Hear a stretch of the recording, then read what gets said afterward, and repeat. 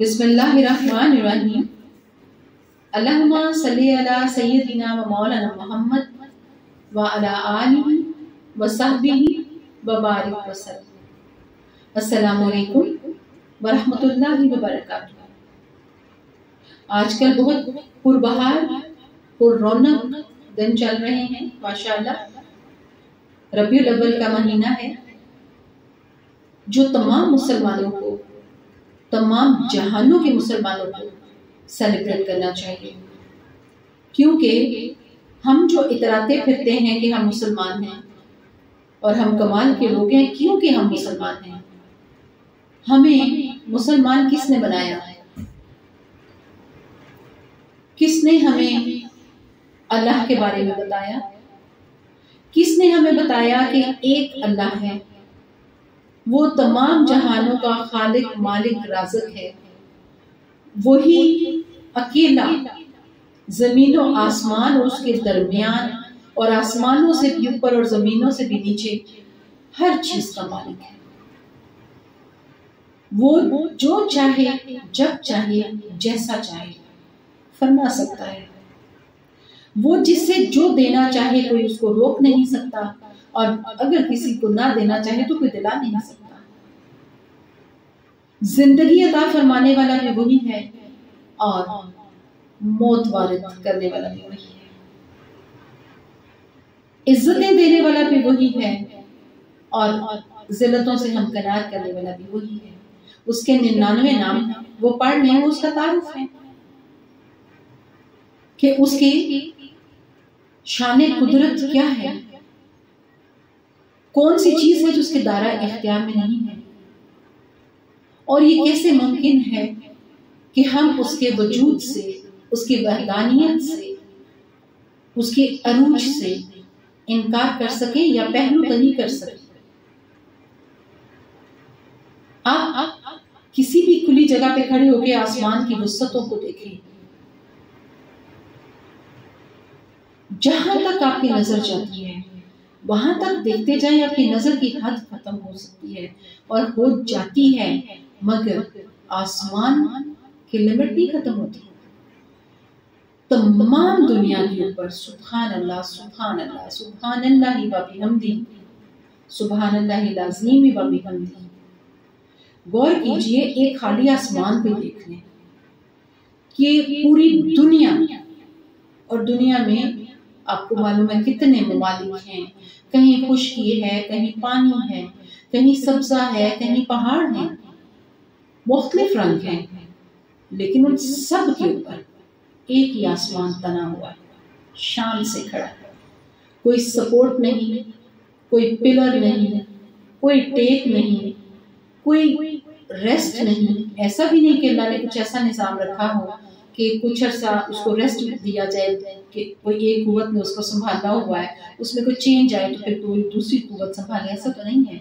फिर ये जिस ज़मीन के ऊपर हम चलते हैं, रहते हैं, बसते हैं, हँसते बसते हैं, खाते पीते हैं, पैदा होते हैं, फिर ग्रेजुअली बड़े होते हैं, ज़िंदगी के मुख्तलिफ़ मदारज तय करते हैं, इसी ज़मीन के ऊपर हम आते हैं और फिर इसी ज़मीन के नीचे जाके सो जाना है बहुत सारे आए और चले जाए इस ज़मीन को कभी आपने देखा है कि कोई लिमिट इसकी आपकी समझ में आती है?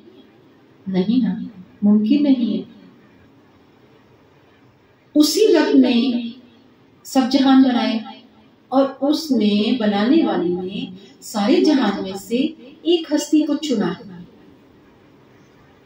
और फरमाया कि ये हमारे महबूब हैं, सल्लल्लाहु अलैहि वसल्लम। सदके जाइए उन हस्ती पर। कि अल्लाह पाक फरमा रहा है, जिसने ये ज़मीन, आसमान, सारे जहान बनाए वो फरमा रहा है कि ये मोहम्मद सल्लल्लाहु अलैहि वसल्लम मेरे महबूब हैं, मैं और मेरे फरिश्ते और मलाइका सुबह दोपहर शाम हर वक्त अर्शों पे बैठकर, अर्शों पे बैठकर नबी पाक सल्लल्लाहु अलैहि वसल्लम पर दुरूद सलाम भेजते हैं और ए मोमिनो, तुम भी ऐसा ही करो। ये हो गया एक हिस्सा। यानी ये फरमा कौन रहा है? ये गौर कीजिए, आप तफरकों में तो बाद में पढ़ते हैं ना, फिरकों में तो बाद में पढ़ते हैं। पहले तो आप इंसान होते हैं, और बकौल आपके आप मुसलमान होते हैं। तो मुसलमान ने क्या करना होता है? पहले अल्लाह और अल्लाह के रसूल सल्लल्लाहु अलैहि वसल्लम पर ईमान लाना होता है, फिर उसकी एक किताब कुरान मुकद्दस कुरान मजीद पर ईमान लाना होता है। फिर उसके नबियों, वलियों पैगम्बरों पर ईमान लाना होता है। तब मुसलमान होता है ना। खाली ईमान ले आना मगर क्या होता है? इत्तबा। इत्तबा वो चीज़ है जिससे आप कहते हैं नमाज़ दीन की कुंजी है। यानी चाबी है कि नमाज़ एक पहचान है हमारी, जिससे मुसलमान और दीगर तमाम मजाहब में एक क्लियर जो है वो फ़र्क नज़र आता है। बाकी तमाम मजाहब की अलग इबादत हैं। हमारी इबादत नमाज़ है, हम सर झुकाते हैं, माथा टेकते हैं उसके आगे, क्योंकि वो रब है। रब्बुल इज़्ज़त, रब्बुल आलमीन खुदाए वाहिद। हम वो नमाज़ पढ़ते हैं। क्या हमें हमें से सबको उसका मीनिंग मालूम है, उसका मतलब पता है। फिर वो जो एक किताब पर ईमान लाते हैं कुरान पाक पर, उसमें क्या फरमाया हुआ रब ने? क्या हमें मालूम है? हमारे यहाँ ज़्यादातर कुरान पाक को पढ़ा जाता है, मगर ये तो मालूम ही नहीं होता कि पढ़ क्या रहे हैं। इतनी बड़ी किताब है वो, माशाल्लाह, तीस सिपारे हैं उसमें। और ज़्यादातर लोग अपनी अपनी सहूलत के मुताबिक और अपनी अपनी स्पीड के मुताबिक पढ़ते हैं उसको डेली और कई लोग ऐसे भी हैं कि जो महीनों नहीं खोलते उस किताब को, मगर हर घर में पढ़ी ज़रूर होती है। और हाइट पर किसी जगह पे उसको रखा जाता है कि मुकदस है, वहाँ रखा जाता है। और इसके अलावा उसके ऊपर बड़े अच्छे कवर्स गुलाब बड़े अच्छे चढ़ाए जाते हैं। उसके जो ओरेल होती है, स्टैंड होता है, वो बड़ा खूबसूरत करने की कोशिश की जाती है। हालाँकि उस किताब को तो रब ने उतारा जिंदगियों को खूबसूरत बनाने के लिए। उसको हमारी रहनुमाई के लिए भेजा और उस कुरान के बाद अपने प्यारे नबी सल्लल्लाहु अलैहि वसल्लम को मुजस्सम कुरान फरमाया। यानी आप सल्लल्लाहु अलैहि वसल्लम की हयात तैयबा हमारे लिए कुरान की तरह एक प्रैक्टिकल, यानी कुरान में जो कुछ लिखा हुआ है, आप सल्लल्लाहु अलैहि वसल्लम ने वो अमल करके दिखाया। उनके सारे घराने ने घराने ने अमल करके दिखाया। और फिर अपने, यानी सीरत पाक सल्लल्लाहु अलैहि वसल्लम हमारे लिए, हमारी हदायत और रहनुमाई के लिए है। हम डेज़ को सेलिब्रेट करते हैं, जिस जिस फिरका से भी हमारा ताल्लुक है। शिया तबका जो है, अहले तशी, वो मुहर्रम और सफ़र को स्पेशली बाकी दिनों में भी करते ही हैं एहतराम। अल्लाह ने जहाँ जहाँ पैदा किया है ना, बस फरमा दिया है, किसी का कोई ना कसूर है, ना कमाल है। तो वो मातम भी होते हैं, मजालिस भी होती है, सब कुछ होता है। लेकिन क्या तालीमत पर तवज्जो देते हैं सब लोग अहले तशी? ये गौर करते हैं कि नूर घराने ने अपने उन अजीम शान बेमिसाल कुर्बानियों के ज़रिए पैगाम क्या दिया? और उनकी हयात तैयबा जो थी, उनकी बीबियों की और उन शहजादों की, मेरा और मेरे आने जाने वाली सारी नस्लों का सलाम उन्हें उनकी हयात तैयबा पर कभी किसी ने गौर किया, पाक बीबियों की जिंदगियों पर और पाक शहजादों की जिंदगियों पर, इमामों की जिंदगियों पर कभी किसी ने तवज्जो दी कि उनकी ज़िंदगी गुजारने के अंदाज क्या थे? और हमारे लिए वो मशाल राम है। क्या हमने कभी बनाया उनको मशाले राम की टीचिंग्स को, उनके फरमोदात को? कभी हमने बनाया? सोचा इस बारे में। इसी तरह ही मुहर्रम और सफ़र के बाद रबी अव्वल का महीना आता है। फिर अहले सुन्नत जो है, वो खुशियाँ मनाते हैं। आका करीम सल्लल्लाहु अलैहि वसल्लम के इस दुनिया में तशरीफ़ लाने के लिए यही महीने में तशरीफ़ भी लाए आप और ज़ाहिर जाहिरी पर्दा कोशिश इसी महीने में फरमाई। मगर इस बात से फ़र्क नहीं पड़ता, क्योंकि वो तो अल्लाह के महबूब हैं सल्लल्लाहु अलैहि वसल्लम जो तो वो तो हर वक्त महबूब तो हर वक्त के साथ होता है। वो आलम अरवाह में भी अल्लाह के साथ थे और वो तो हमेशा साथ हैं। इसीलिए क्यामत के दिन उन्होंने हमारी शफात फरमानी है ना। अदरवाइज़ जो मौजूद ही नहीं है वो शफात तो नहीं कर, कर सकता कभी भी। किसी की शहादत नहीं दे सकता वो शाहिद भी नहीं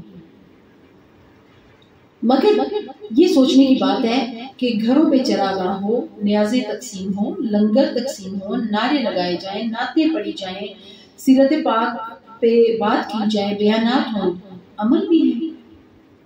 क्या हमने कभी गौर किया कि क्या हम अमल भी कर रहे हैं जो आका करीम सल्लल्लाहु अलैहि वसल्लम की हयात तैयबा है? जब आप सल्लल्लाहु अलैहि वसल्लम ने फरमाया कि अफवत और गुसर से काम लेना है, बड़ों का एहतराम करना है, छोटों के साथ शफकत से पेश आना है, यतीमों के सर पे हाथ रखना है, भूखों को खाना खिलाना है, प्यासों की प्यास बुझाना है, अगर कोई ज़्यादा भी कर दे तो दरगुजर से काम लेना है। अपने घरों को साफ़ सुथरा रखना है, अपने बदन, अपने लिबास, अपनी सोचों को पाक पाकिजा रखना है, मुअत्तर रखना है। नमाजों के बारे में मेरे आका करीम सल्लल्लाहु अलैहि वसल्लम ने सिर्फ़ चंद मौके पर उन्होंने थोड़े जलाल से बात फरमाई अदरवाइज़ तो मतलब वो नरमी और शफकत का सरतपा मतलब मुजस्म वो रहमत है ना? और रहमतुल आलमीन है। रहमतुल मुस्लिमीन नहीं है।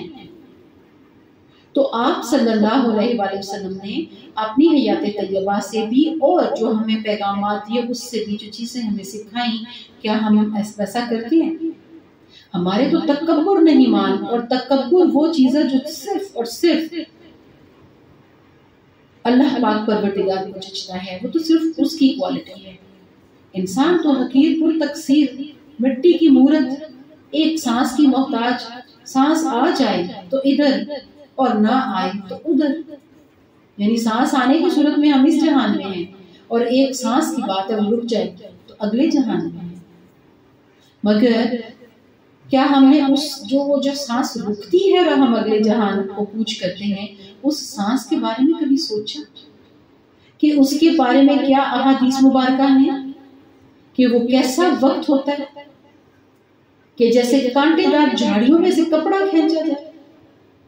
इस्तगफिरुल्लाह इस्तगफिरुल्लाह कैसा कैसा अजाब है क्या कभी हमने कोशिश की कि हम इसके बारे में नॉलेज हासिल करें और कहीं पढ़ भी लें या सुन भी लें, उसको अपनी ज़िंदगी का हिस्सा बनाना।